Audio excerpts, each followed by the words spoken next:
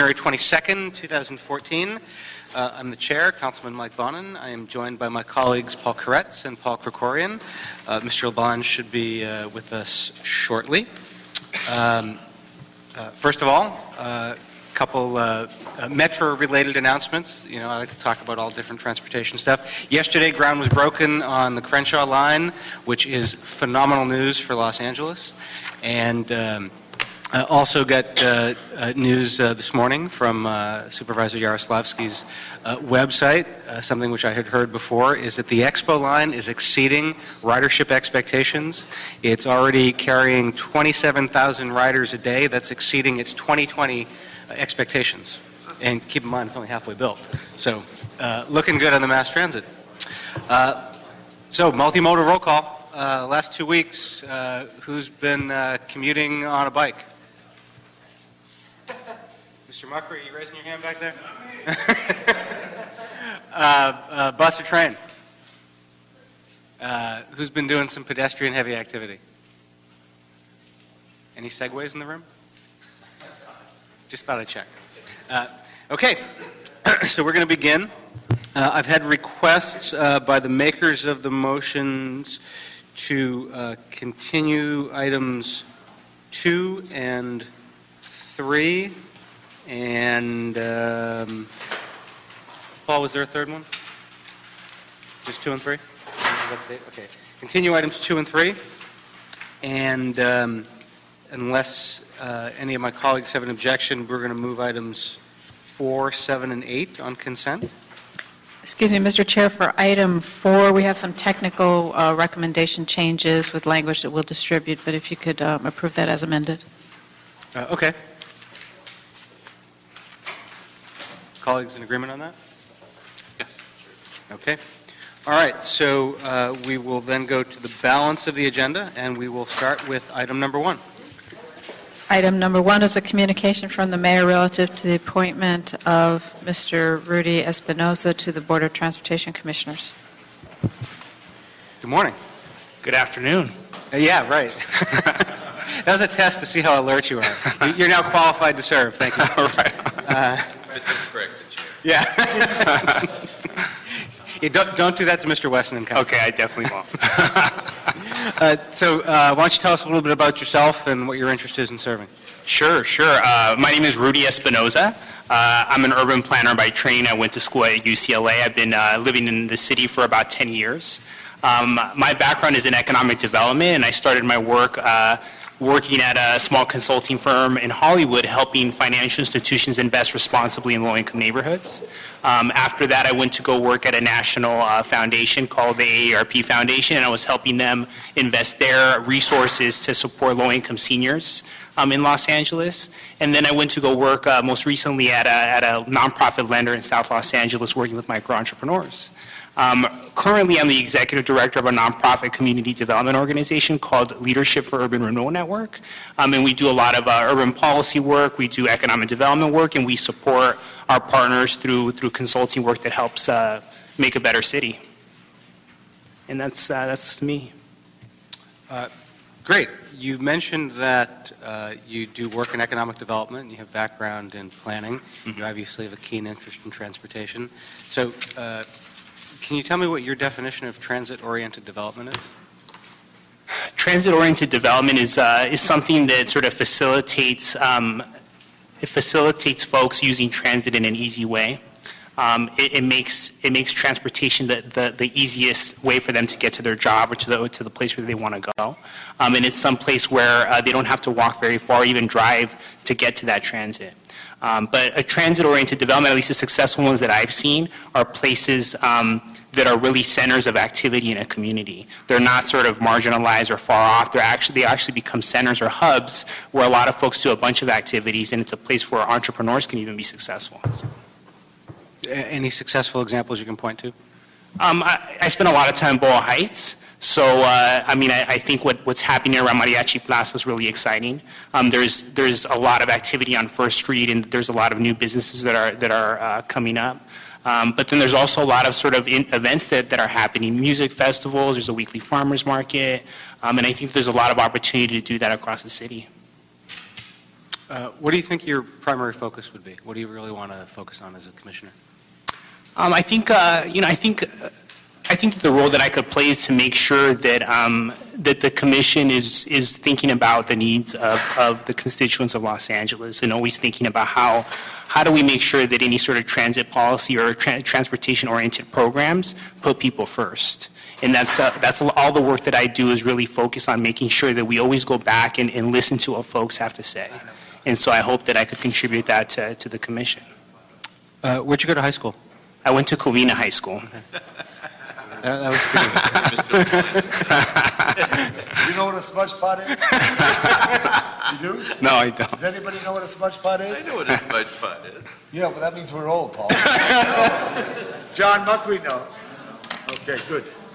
Uh, Colleagues, any questions for Mr. Just to clarify, in the, in our youth, Mr. Kokoi and I, and Mr. Muckery, if we did have a chance to watch uh, news on the TV, they'd say, and tomorrow in Covina, they have to turn the smudge pots on to keep the, uh, the fruit trees uh, warm because of a cold snap. And that's what it was. And there was a lot of groves out there. Is that right, Mr. Muckery? That- That's true. Very good, okay, thank you. I I used a manual typewriter once. Very good, okay. Colleagues, anybody have questions? Put it in.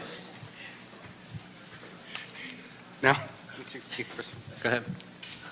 I'm just wondering, when you, when you come in, do you have any goals uh, that, you see for us in terms of transportation in LA? Well, you know what? I think that one of the biggest assets that Los Angeles has, especially in low-income neighborhoods, is, is the streets and things that we already have. That, those are assets that, that we have to activate a little bit more.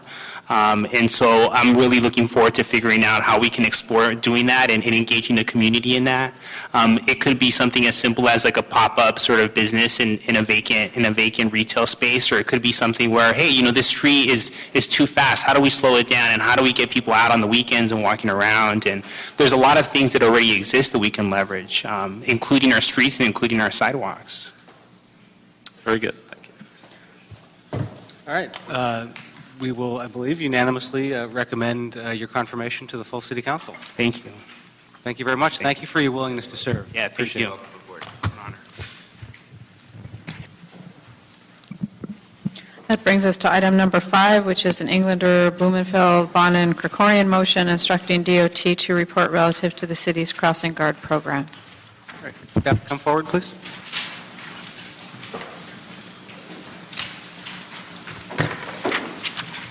Uh, Is there anybody here from Mr. Englander's office? Are We done with this, one and two? Three? Uh, Would Would you like an opportunity to sort of uh, frame the motion and and explain uh, what Mr. Englander would like to see? Uh, Good afternoon, council members. My name is Brian O. from Councilmember Englander's office, and uh, this motion was put uh, pretty recently um, in light of some information that the council member had uh, received regarding one of the programs that DOT um, offers in Crossing Guard, in the Crossing Guard program. Um, And he wanted to just have some more information on, uh, you know, kind of the procedures and kind of the system that's in place for how we, um, you know, look at the performance and um, kind of the procedures that go into this program. So we put that motion forward for that. Thank you. Uh, Gentlemen, I'd like to introduce yourselves? Good and- afternoon, Greg Savelli, Department of Transportation. Um, We have received some of the uh, information that they requested, and we are gathering that data. We're more than happy to present that uh, information for for the council, Uh, and I'm here today to answer any questions you may have on the program. This is a program that's been in the city for many, many years. Started out as a contract program, uh, uh, changed over to a city program about 20-plus years ago. And uh, at its peak, we had 600, and- or correction, 605 requests for locations to be covered. At the max, we had 490 to 500 guards. Currently, the program is, um, through the budget cuts and through the different things that the city's been doing, we're down to 390 crossing guards, um, and they are distributed throughout the city based on need. Uh, The crossing uh, intersections are rated A, B, and C for, for the level of priority, A being the highest, meaning no controls, uh, B being some type of control or crossing or a stop sign, and then C being less uh, priority with a signalized intersection of some type. Um, And those are evaluated uh, by need, um, by the supervision, as well as some of them are uh, council authorized. So a council member can authorize uh, a crossing guard for a specific intersection if they provide the funding for it, and that person would not be moved generally. Um, And so that's how the system uh, was set up. Uh, Currently, the system, with, as with all city programs, has lost a number of members due to the fact of retirements, illnesses.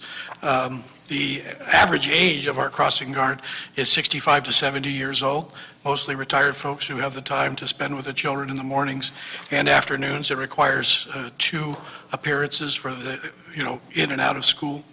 Um, I'm not sure how long ago, but a while back, they used to do it three times, and part of the uh, process was for uh, the guards to come back in the middle of the day. And uh, when they eliminated the middle of the day crossing for uh, schools that no longer opened up, uh, it kept everybody on campus, they uh, found a way to provide a bonus system to where the guard, if they showed up for the second time, instead of just the first, they would have to provide a bonus. That's part of the negotiated uh, MOU language, and uh, so that's part of the, the, the cost of the program at this point is just a little bit over $4 million um, that we provide to the city. Uh, So you said there's about 390 crossing guards? Correct. Are those all part-time positions? All part-time. And uh, the budget's about 4 million, you said. What was it at its peak? Uh, say over six. Over six. And um, how long ago was the peak? Uh, Approximately four years ago. Yes. Car- Lieutenant Carl Jones is here as well. He's the- been the program coordinator for the last four years, so he's here to back us up if we have any questions we can't answer. And what's the, the- the, uh, other than the council-created positions, what's the funding source? Is it general fund, or is there a, a- a different revenue source? Uh, Ultimately, all of our people are paid, all the crossing guards are paid through the Traffic Safety Fund. Uh, How the the transfers are done, I'm not 100% sure. Uh, Has uh, LAUSD ever borne any, uh, any part of the cost for crossing guards? Not currently. This is one of the programs that years ago, when cities were trying to help school districts, uh, we offered as, uh, as- not in kind, but we offered to pay this service rather than give money directly to the schools, and that's part of the reasons why they don't pay at this time. Uh, Do you know, and and if you don't, and well, either way, if you include it in the report, what other municipalities do if if they pay for the cost themselves, or if they share it with the school district, or if there's other uh, private funding sources that that help support? I've had the unique experience of working at six different cities, and each one provides this service for the school districts in most cases. For example, my most recent experience at Hermosa Beach was that they contracted it out, but it was paid for by the city through, uh, to all city management. And uh, the crossing guards, are they generally stationed sort of right at the school, or are they, do they, are they stationed at crossings where large numbers of students tend to pass uh, en route to school, but not necessarily immediately in front of it? Both. Some of them are on what they call the Safe Route to School program, so where there are large crossings, they would be at those intersections, which may serve multiple schools, and then there are others that are located directly at some of the schools. And, and so how is all that determined? I mean, Safe Routes for Schools exists, but is there something about pedestrian volumes that you examine or anything? Yeah, we, the, uh, by, by count, by the pedestrian counts, um, and uh, they'll, they'll go back and check. And again, keep in mind that we only cross elementary school by uh, city code, city ordinance. So we evaluate where the elementary schools are. So uh, there, you know, I live on a street in between an elementary school and a middle school. Uh, so obviously the, the students tend to, you know, walk the same routes.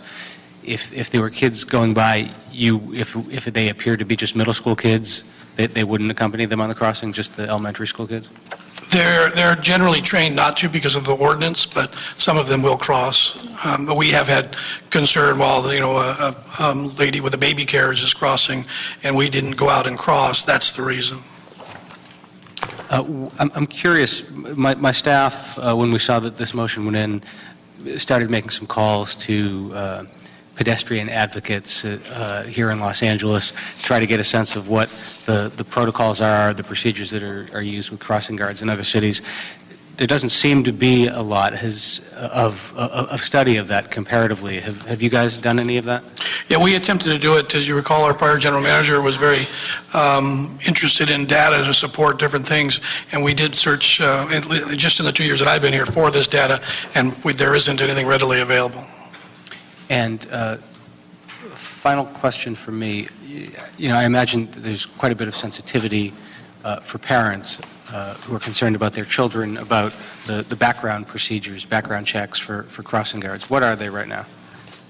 Uh, They run through the, the city, uh, and because of the sensitive nature and involving children, their fingerprints are run through the state system to find out if they have any convictions. The, the Megan Laws database and stuff? Yes, but it's only computerized. We don't do door checking. We don't uh, check with the neighbors or anything like that. Uh, colleagues, anybody have questions? Mr. Koretz? Yeah, just uh, want to know how much, uh, how much less safe we think kids are now that we've made the cuts that we've made to uh, the crossing guard program in the last few years.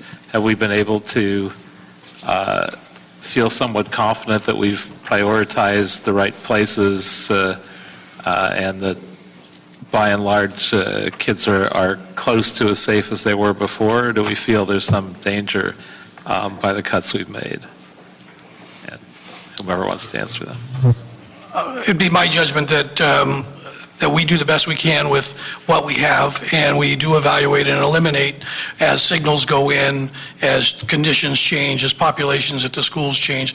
We do reevaluate. In fact, we reevaluate uh, on a- uh, now on a more regular basis than before uh, to try to determine what intersections truly need the assistance. Uh, As far as, I I can't put a a- a yes or no whether they're safer or less safe, um, just based on, on what we do. Um, So I really couldn't answer that question. Do you have a sense of it? I mean, we, we obviously have had to cut in a number of safety-related places. Um, Certainly where we've done that uh, with fire safety, we've seen a slower response time, we know there's a certain amount of, of danger. Do we have, do we have a sense that because we're, we're obviously eliminating the, the least crucial places and signals go in and stop signs go in, do we have a sense that this has been Yes, we do. reasonably safe, or do we have the feeling that, you know, oh my God, if we could only throw in an extra hundred thousand dollars, you know, there's still some intersections that we feel uncomfortable with that we're not covering? Before a, a, a guard is removed from any intersection, uh, the intersection is resurveyed uh, to see if it actually meets the criteria or the warrant for a crossing guard, and before any guard is removed from the intersection. Normally, the guards that are removed from an intersection, it doesn't meet the criteria for a crossing guard anymore. And that's how we, we remove them. But to further answer that question, we, as you, as I mentioned at the beginning, there, there have been 605 requests, and those requests are based on usually the school or the families or the people that use those intersections. We, at, if everybody's here, the best we can cover is 390. John Muckery, General Manager, Department of Transportation. I think we're at great risk by not funding this program. The department gives tens of millions of dollars back in various revenues back to the city to fund the general fund. Our traffic officers, are crossing guards are funded from the Traffic Safety Fund. I don't want to mislead anybody in this room or in the council to think that this group is not in jeopardy in this budget. I want to keep it in the budget. I'm going to be asking for more funds for the department. I want to hire 60 more crossing guards right now. We need to make uh, public transport, or safety, pedestrian safety, a priority in the city. We've had too many close calls and too many deaths not to look at this while we're gathering the data. So it's a very critical uh, program to the city. It's underfunded, we're understaffed, and these men are trying to give you the political answer. I'm going to give you the straight answer. We need more. Thank you. Uh, I know, Mr. Muckery, you just arrived, but how many people were injured in crossing uh, in the streets in calendar year 2013? I can't give you that number, but I can tell you since I've been general manager, we've had two crossing guard, actually crossing guards involved in accidents from, from doing their job. One thing I haven't done, members, and I want to do, I want to go over and see uh, Commander Smith Because I think our data collection, whether it's fire, police, and if you've ever been in a firehouse and look at their form, uh, there's about 95 checks. I don't know if they're up to date with the modern statistics that we want to try to get. No, they are not. you know, uh, but, you know, who is responsible? I don't know how many accidents they are. I can tell you just in reminiscing right now, there's a crossing guard at Clinton and Hoover. The school is three blocks away. The reason there's a crossing guard is the streetcar used to come up Hoover to Clinton and went out uh, Temple to where Cedars of Lebanon was. Again, I don't know, maybe just me, Paul, and John will know where that was before Cedar Sinai was. And that's why that crossing guard has always been there. And that's because it's a tough part of Hoover, right by street lighting DWP yard on Hoover. This is near Melrose Avenue in the East Hollywood, if you call it that area. Um, there is a, a situation where there's a defined moment where LA Unified says this is our responsibility and this is the city's. I don't want that argument. I, we have this, we are crossing guard people. And Lieutenant Jones is one of the best public employees in all the system of the city of Los Angeles and his passion to teach people about uh, what they have the various uh, valet service, I guess, is what do they call it? School valet, where the School parents valet. help get the cars in and around. And all this is a big, big, big challenge. I think we do need the numbers of what take place there. I, I, You need more. I don't know if I've ever told you, I was hit by a car, first car stopped, second car didn't. I think I was 13 years old. I was in county territory. And the sheriff picked me up because some mother saw me in a bad arm and she, you know, the, mm. it was a hit and run. The point being, crosswalks are, I want people to be afraid to cross the street and not think it. I don't, and I know there's some advocates who think peace and love. Streets are a tough place. People have a lot going on and they're not always concentrating. School safety zones. I do want the police department to have a chief of, uh, of uh, traffic. There's no chief of traffic in there like they used to have. To really concentrate on this area for enforcement, there's three things. You know the three E's, don't you? Can I tell you the three E's? I suspect you're about to. Okay, good. The most important thing, it's called education, enforcement, and engineering. And the engineers will go out, look at a situation, and put in a new signal out at Franklin and Commonwealth. But it's right next to a school. Everybody loves the crossing guard. They don't want to get rid of the crossing guard, so the crossing guard stays, even though the signal was put in there for that safety issue. And enforcement is, is when the police department comes, because you don't move people. But today I did see an officer at 815.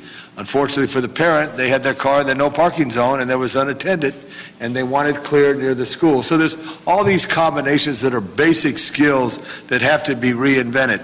Today, out on Wilshire Boulevard, as we looked at a new project that we're doing for the busway, uh, uh, an individual on a bike was just coming right through and he yelled at us, hey, out of the way, we're on a sidewalk. And I'm thinking, okay, when is the collision going to happen?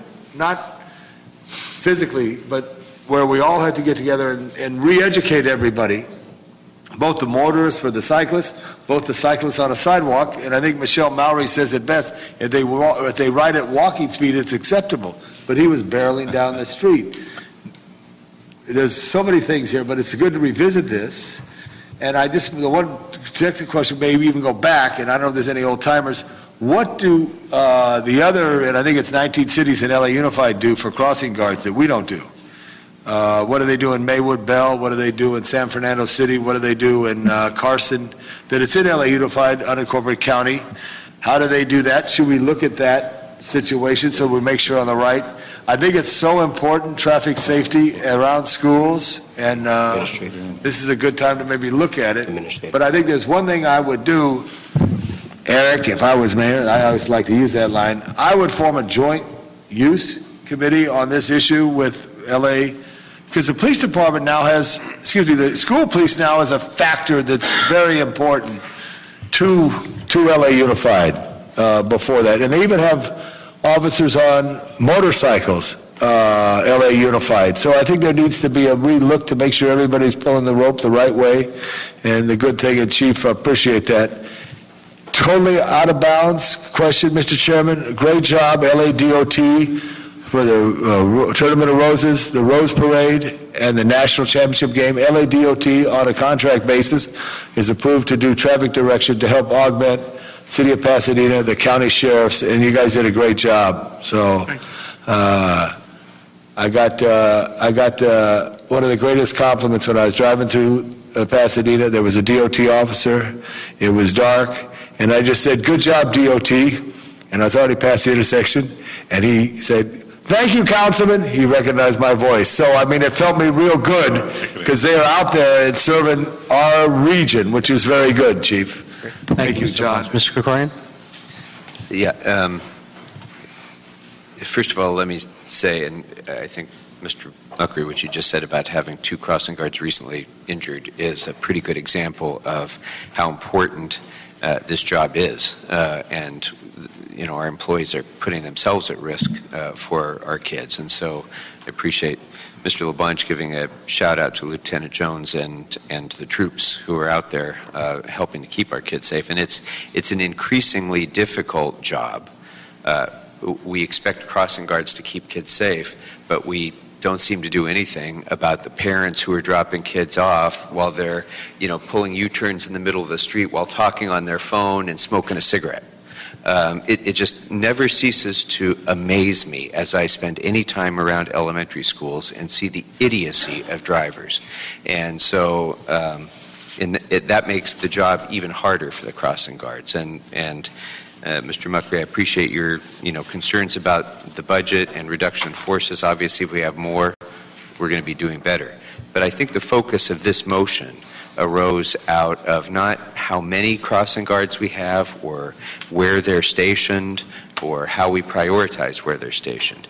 It has more to do with uh, process of how we handle this program now. Uh, and specifically, it rose out of an unfortunate incident when a child was injured. Um, and the allegation was that a crossing guard had acted um, with improperly in leading the child out into the street. Not going to revisit that case or talk about that specific issue, but I think that the, what we want to hone in on is what are the protocols? What is the training involved when someone is has a medical condition that impedes their ability to do the job? How do we address that situation and bringing them back? Um, what's the oversight that's provided to individuals who are on the job? Um, so those are the sorts of things that uh, I'm going to be looking for when the report comes back uh, to focus in on how can we make sure that our crossing guards are kept as safe as they can be by our practices and the kids that they're serving are, are kept as safe as they can be. Thank you. Uh, we have one speaker card, uh, which is uh, Jorge Sanchez from Teamsters. Uh, Greg, if you could stay up, because I'm going to have a question for you when he's done. Thanks, Chief. Commission, thanks uh, for accepting me, my, com- my public comments. Um, my name is Jorge Sanchez. I am the Teamster business agent for the Crossing Guards. Um, they are represented by uh, Teamsters Local 911. Um, and I want to echo uh, General Manager uh, Muckery's uh, statement, which is uh, we are at a critical stage right now with the Crossing Guard program. Uh, at its height, it was technically about 520 employees, but because uh, these part-time employees now have to go through managed hiring hall, um, their process of hiring more is limited because, again, they've got to go through managed hiring uh, hall to do that. I don't know when that process started for part-timers, but it is what it is. However, my comments are uh, this afternoon uh, extemporaneous. They're off the cuff, uh, from the heart, and that is simply to say that we've lost two more crossing guards uh, just this weekend. Um, tragically via uh, both dying. Uh, one had cancer, of course. The other had a massive heart attack. But with that, that means there's two, two more less bodies that we now have. Um, injuries, again, constitute a majority of our folks going down. Um, and I, I simply want to, again, plead to this commission that some way, somehow, uh, we get some more funding uh, to DOT to have these positions, these 60 positions filled, so we can get corners covered, um, and your constituencies uh, happy, if you will, that their, their kids are, are protected. Um, and again, I thank you for allowing me to address you uh, this afternoon. Thank you, Mr. Sanchez. Uh, Chief, you've heard, you've, you've read the motion. Uh, you've heard a lot of the feedback from the council members. Uh, how long uh, do you need to prepare this report and get it back to us? Uh, We can have it back in a couple of weeks or whenever you're, you- you, we have most of the data here, we're just still trying to tie it up. Uh, Just briefly, I can tell you that, um, you know, we have an annual retraining, they all have to show up for that. Our leads are required to go out and check and watch them perform to make sure they can do the job. So we have these things in place, and I'll be happy to report back in a couple of weeks. Okay, uh, then we'll, we'll say, we'll have it on the calendar in 30 days, but get the report in sooner. You can share it with the council members and and get more public feedback that way. Um, uh, Everybody on board with that? Yeah, I just want to say, also look at, there's a couple of national walk-to-school days and some civic events that we just tie in, what do we do? I really want to try to make the nexus through LA Unified. A lot happens when whoever the principal is in this area. I think uh, one person who could get elected, uh, if they did run for office, usually is the crossing guard. He's much loved by the children and by the, the families and all that. But just to, we always have to, spring training comes around every year because you got to learn how to hit the curveball. You got to learn how to run and catch a ball. It's just very important to retool and that. So everybody's comments were real good. But I, I do want to, I don't know who the superintendent is, and I used to, maybe one of my deputies does. Any know over LA Unified? There used to be one who was the Dan Isaacs, I who think who had all this stuff. There was one person. I'm not sure. I think it would be helpful to have the. Who's your liaison at LA Unified? Uh, Bradley Smith. Bradley Smith. And, and they also had to retool a lot of their works because their protocols and different things around school. So this is a good thing to discuss. So Thank you. Very good. thank you. Mr. Chairman? Yep. While, while the chief and the lieutenant are here, I just also want to say that Caroline is doing a great job at Carpenter, by the way. Okay, good. Yeah, good job. Uh, And while while they're leaving the table, uh, Mr. Markey, I just wanted to say one thing. Uh, You don't need to come up, it's okay. Uh, I just wanted to thank you and acknowledge that I think it was very important and significant the general manager of LA's Department of Transportation made such a forceful argument on behalf of pedestrian safety. Uh, Whether you take a car or a bus or a train or you bicycle in Los Angeles, you're also at least part of the day a pedestrian. And uh, I think we're getting to a place in Los Angeles where we're paying more attention to pedestrian safety. And I think it's, it's significant, and I'm very grateful to hear you be such a forceful advocate for pedestrians in Los Angeles. Thank you. Uh, Next item. Item number six is a Krekorian Koretz motion instructing DOT to update the 2005 Community Needs Assessment to incorporate significant changes in population demographics, transportation needs, and transit infrastructure in the San Fernando Valley. Thank you. Uh, Mr. Krekorian, you were the maker of the motion. Would you care to uh, introduce it and lead off on the questioning? Yeah, I I think um, it can be introduced very briefly. Uh, This is just an attempt to try to uh, bring up to date the community needs assessment that was last done nearly a decade ago to evaluate whether or not our uh, dash resources are being used in the most effective way and how we can um, improve uh, both their utility uh, and their connectivity with other parts of the transit system. So um, I'm eager to move forward so we can take a fresh look, especially when you consider how much transportation infrastructure has changed since 2005. Um, how much commerce has changed, how much, um, how many other things have changed about um, the, the demographics and the, the layout of our city in that decade. Uh, I think it's time that we that we update and evaluate and, and take a fresh look at, at our dash lines. So that's the point of this. Uh, Would you like to uh, ask any questions? Okay. Um, uh, Wanted to ask if it would be a a friendly amendment for you if we could expand the scope of the study so we do it for for the entire city and not just the valley? I think that's absolutely in order, and it's a wise investment of funds.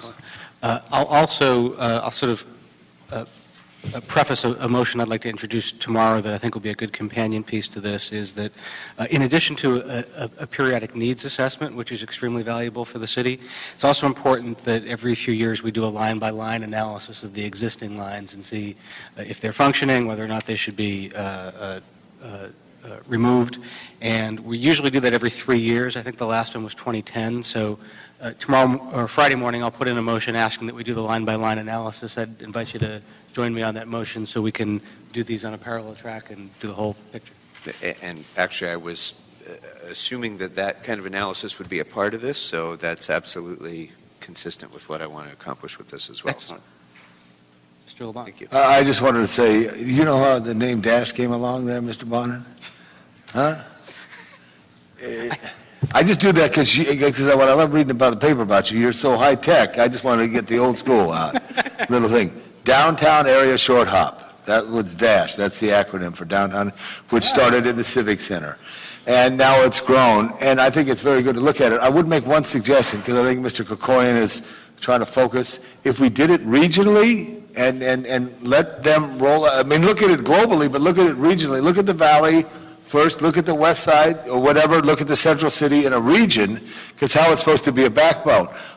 Correct me if I'm wrong, but much of this spawned out of downtown when the MTA or RTD at the time got rid of a lot of lines that were non-performing lines. And the city stood up and said, we want to get in that business. Is that correct? That's correct. Give a little history for the members. Um, The Downtown Dash actually was operated, uh, Jim Lefton with the Department of Transportation. Um, The Downtown Dash was, before it was Downtown Dash, was the Downtown Mini Ride, which was operated by Metro since the early 70s. Um, In 1985, the city had been accumulating Proposition A dollars, and we felt that we'd be better served to contract out the service and operate it ourselves rather than having Metro do the service. So we started in downtown with one route. We're now up to four weekday routes, and, and the success in downtown spawned community dash services throughout the city. We now have 25 services throughout the city as well. Uh, Let me ask a question. I read once that, uh, and I don't know if this is true, but I read once that it cost the city $15,000 every time there's a new council file created. So rather than me doing a separate motion on the line-by-line analysis, uh, Mr. Clerk, is it okay if we just amend this to include the line-by-line analysis as well? Yes, it is. Good. Just save 15,000 bucks. I don't think it's 15,000 bucks, but it's something. It is something, so I think that's a good way to do it. That's what they said when the neighborhood councils wanted to create council files. All right, but the one other thing I wanted to say, I would also like them to look at, James, because you're doing it now, but just to sell that. You ever been to Laguna Beach? They got open air transit. Okay, you've been to Santa Barbara? Open air transit. Sometimes it's fun. Transit's fun, you know, if they see it's open air. I was behind a dash bus today, one of your old ones, on Franklin Avenue, and it is a big vehicle. You know, it's not a minivan or something. I also would say, is it possible to do any complementary smaller vehicles? Because I don't know the numbers on each one, but I do try to count the heads when I see it. And I know you're trying to do a great job, but sometimes there's two or three or six. I've never seen a, except a, uh 608, but a 608 I think is a uh, Metro. metro line. That's a short little dash bus, but it is packed as a packed could be. It goes uh, through there. So I just think we should look at that and see what, what, what the future holds and how it will complement. Because the one thing I haven't achieved, so I lay this out to my colleagues who have a longer term possibly here at the big house at First in Main, is I always wanted to have, Now, don't refer to the big house. Oh, I didn't know that, Paul. Oh, you used to work in the state. I got it. Okay. If, if there was a red car taxi, now the red car was the greatest thing, but at these, where, where transit crosses at, at Chandler and Lankershim, that's a hub. And if there was a taxi there that said, okay, within a, a, a mile of the zone, all the three of us could jump in and the driver's going to drop us off, it's going to be a buck or two each, just to get the backbone going. I think what we're seeing very rapidly is the success of the MTA's master plan with the Expo line uh, and what is going on. And also, you see that people can come to LA and not be in a car and live off of the, the red line. And uh, again, John and I, when we worked together so many times, the old tough part of East Hollywood, uh, where there was tough motels, are now tourist motels, hipster motels, where people stay in LA and they don't need a car because they can go all the way from Expo, Expo Park to LA Live to Universal, etc. But this whole concept, I think it's good to look at what's the new transit. And where are you on, uh, is it Butterfly or Pink uh, Mustache or what's those places? Uh, what's that called, that new thing? That's a high-tech thing, uh, Mike. The, the, the rideshare company? Rideshare, yeah. We, we, we had a three-hour discussion about that in council one day. Right. Uh, And Mr. Le- Mr. uh, Wesson is not allowing me wearing necktie to council anymore because he was blaming my necktie for the For prolonged that thing. that day. But the point being, all this evolution is taking place on people trying to move people, you know, and how they do it, how they change, so I don't want to load you up, James. I think you I'd know like to what. just make a couple real quick Yeah. comments. First off, um, based on your leadership and strong advocacy, we've included funding in the proposed FY 14-15 budget for two open-air trolleys, so I want you to be the first to hear that. Um, Second, uh, we just, we concur strongly with uh, the motion that was put forward. Um, We, we have plans to work on a scope of work to do both the line-by-line analysis and an update to the Dash Need Assessment Study. Um, in years past, it wasn't feasible to update it because we were facing serious shortfalls, so there really wasn't a point. But with the service changes and revenue increases we obtained in 10, 11, and the economy improving, we do think it's an ideal time to revisit the study, and um, we look forward to working with the council on that endeavor. Great. I'd also ask to, to be, that you be sort of um, anticipatory as well of the, of the new uh, patterns that might be emerging as the, the new rail systems Absolutely. come on, the new uh, BRTs That will all be come taken on. into account. Yep. Uh, Michael, just one thing too, again, and John Mucker and I will remember, I don't know if Paul will remember, but on, on the Santa Monica Boardwalk and into Venice, there was these uh, little c- trams that ran there, you know- you know, and it came, before you came from Massachusetts, but it came along, and people, open air, open air, people like, if you go to San Francisco, Pier 39, they have the exact replica of a cable car, but it has rubber wheels. I told Mr. Huizar, I could go for the streetcar down uh, Broadway, but let's run rubber wheels for a while, just so people want to look at it. And there was a story in the Orange County Register once that said, make vehicles look fun, make them look different, and you'll, you'll find that. In the open air, though, it does provide it. I know West Hollywood does the thing with open air and a little shuttle on Friday night, so there's some concepts here that really could be done that we could take advantage of, so it's a good discussion. Thank you. Mr. Koretz, anything? Okay. Thank you, James. Thank you. Are you old enough to remember the train down? Okay, so we'll approve that as amended to expand to the entire city and do the line-by-line analysis. And that uh, wraps up the agenda, am I correct? And there's no general public comment Oh, card? there's two, uh, seven and eight. Item seven and eight? Already approved. Oh, Yeah, we moved that. All right, so there's no further, uh, nothing further, and we will stand adjourned. Thanks, everybody.